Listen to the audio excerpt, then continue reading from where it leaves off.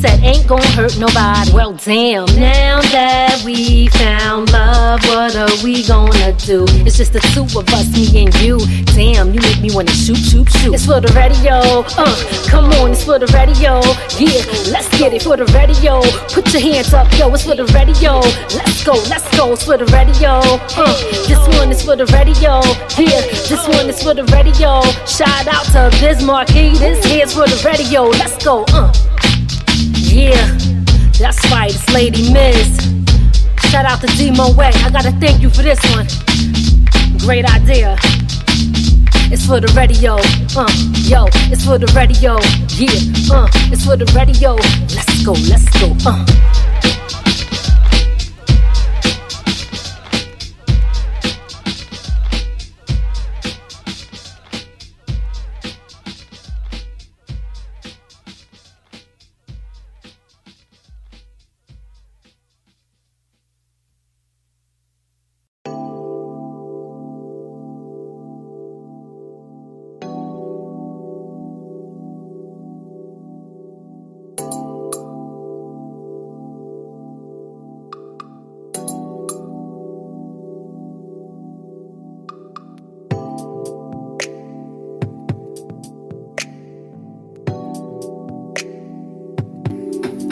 I've come to terms with the fact that my future might not involve people I'm around now.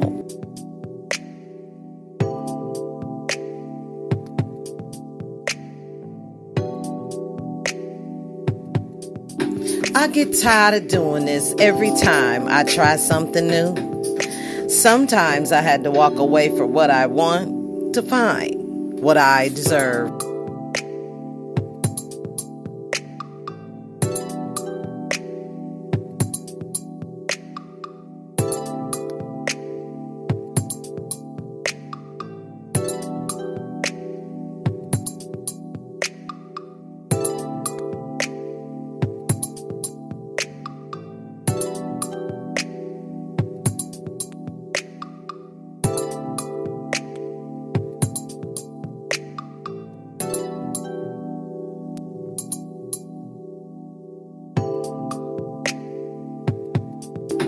I made mistakes in my life.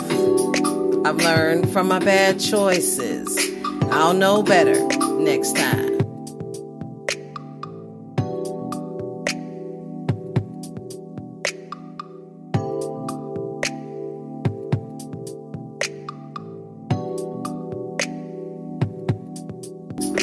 Don't mention a person's past mistakes when they're trying to change. That's like throwing rocks at them while they're struggling to climb a mountain.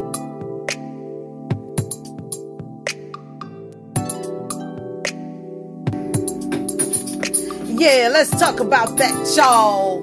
While touring, what has been going on since you've been on tour? I know a lot of you have been doing that. I'm so proud of you, but uh, yeah, we're gonna talk about that uh, with a special guest, which I will be having on the line tonight. Miss nominee, also award-winning Regina Hicks. Let's welcome our special guest to the show, y'all, and everybody that tunes in to Boss Ladies Radio. What's up, y'all?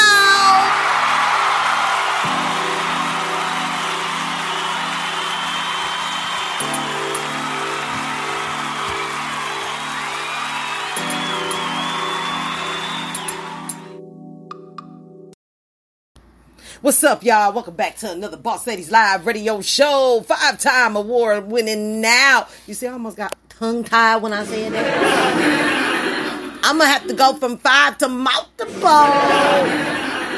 Yeah, welcome back, welcome back to another show. You know what I'm saying? Sponsored by all these great people like Dre's Radio Cafe, aka Dre's 8. He got two new episodes. I mentioned, I mentioned, I mentioned, y'all check it out now. Dre's Radio Cafe. Check out Young Promise new album. You know what I'm saying? Work All Day Records. We just had a little feasible with that five featuring Arbin J. Make sure y'all check out that awesome interview on the 14th, that which was aired at 9 p.m. Central for Superstar Saturday. Then we had the Saturday before that. Rob the Poet Brown. Unless you don't want to say the whole thing, check out the interview that which aired July 30th. No, I'm talking about in uh, that series, you know, know your worth, then add tax. You know what I'm saying? People work hard and all that good stuff. You know, you know, you'll see it in the in the in the list, in the listings of the show or whatever. Looking up on the details of when those things aired. It's also the replay, and you also can get the chat in the chat room still on that show, even though it's not live anymore. So the more you chat in the room, the more spins you get, the more content and more new listeners. Just had to put that out. And thanks and shout out and salute to Finesse Banks Entertainment. Also to uh, Laurie D. Edwards, award winning Laurie D. Edwards, which congratulations, male R&B artist of the year. Uh, congratulations to Rob the Poet Brown, commentary, um, and also spoken word of the year. You know what I'm saying? Um, who else? Who else? What? All the winners, y'all. It's a lot of winners too. So check out your local listings on social media if you follow any of these artists that attended the 12th annual Dub C's Awards. Appreciate that. Round of applause. Great, great thing happening there. Definitely down to work with anybody. You know what I'm saying? Appreciate y'all support, liking, downloading, and sharing the show. Tuning in, liking, downloading, and sharing the show. Know what I'm saying? Free downloads. Know what I'm talking about? Yourself is played on there. I download every doggone episode. My song is on. Can't wait to share it with friends and family and seeing the success and all that good stuff. And you should feel the way same way too. You know what I'm saying? Share, share, share. Let's network, y'all. Um, yeah, I'm gonna bring somebody in the building. Award winning nominated 2021, Regina Hicks. You know what I'm saying? For to get on the line right now just to congratulate her, talk to her because she didn't come to the show. So basically tonight, this show is dedicated to really the nominees and the winners of the 12th annual um Dub C's Award Show. So appreciate, shout out, salute one more time. You know I'm talking about? So we finna get on the line.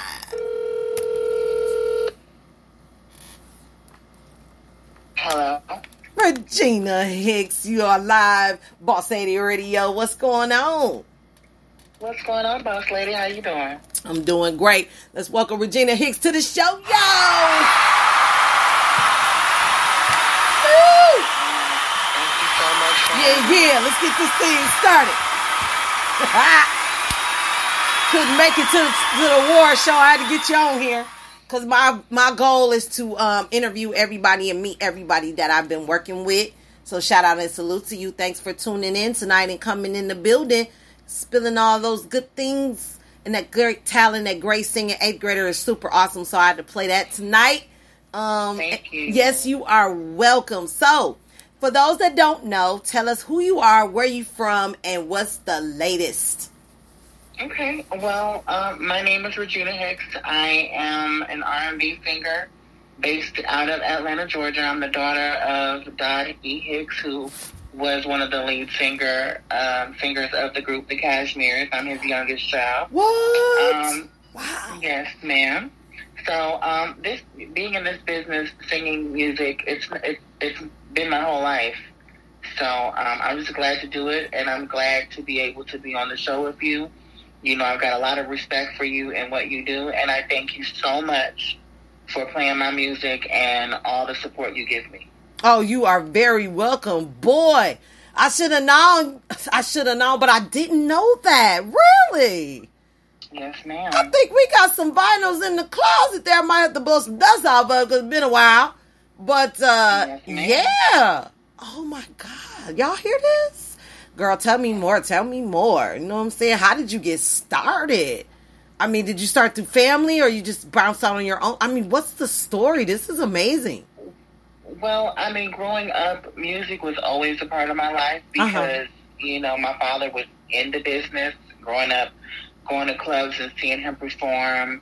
Um, and then, you know, as he came out of the business, my father was still, um, through his connections, he had a limousine company here in Atlanta called Atlanta Executive um, Limo.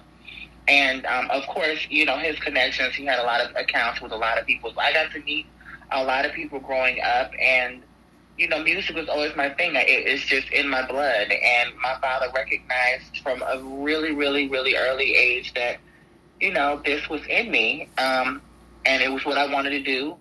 So, I mean, he kind of took me under his wing and, uh, you know, showed me how to sing and sing properly and, you know, all that good stuff. And um, Mm. music was always something that I wanted to do.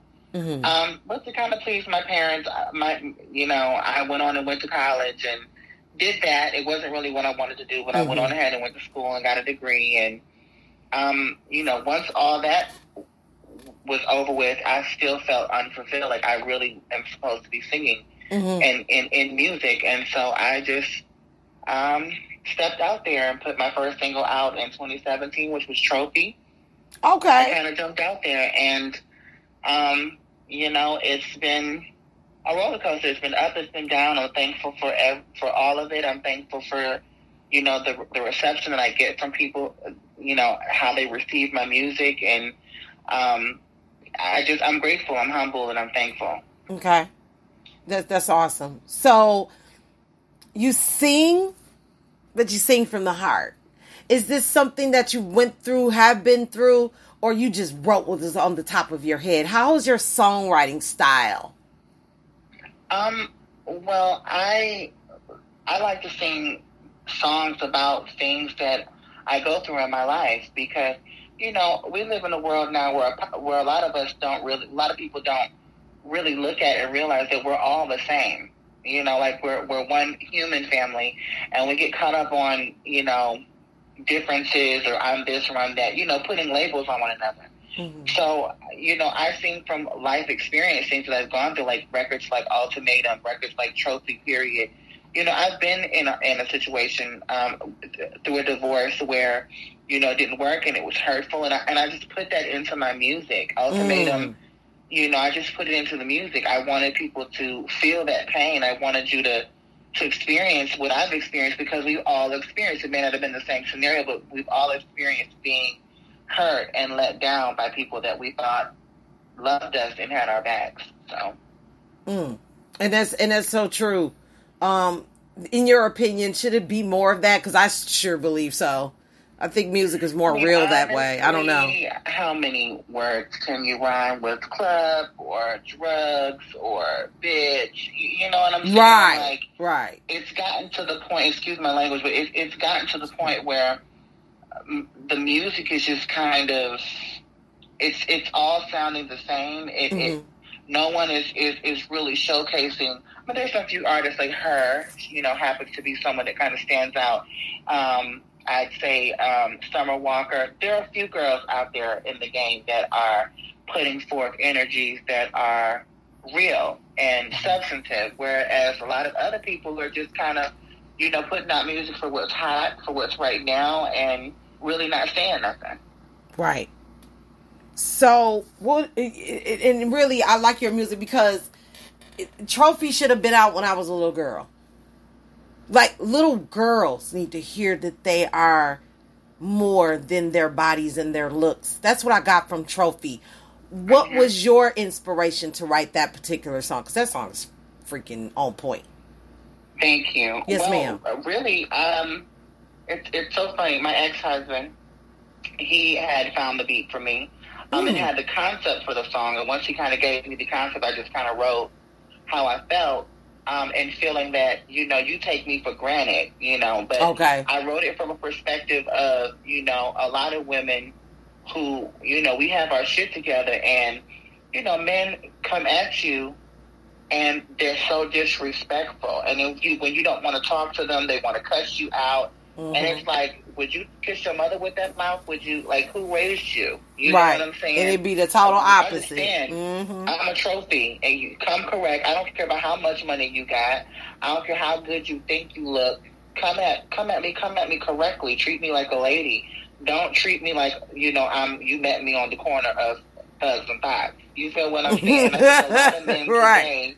I like that. A lot, of, a lot of men today they they are so out of touch with reality and what the reality of a woman is. They think a woman is, you know, what they see on BET or what they watch on Pornhub, and there's Come on. to a woman and about being a woman and, approaching and loving a woman than just being able to drop off some good dick. If, if I, you know, if I can say that on the Yes, radio. it is marked explicit. I'm going to tell you right now, it is marked explicit. You are playing at your own risk.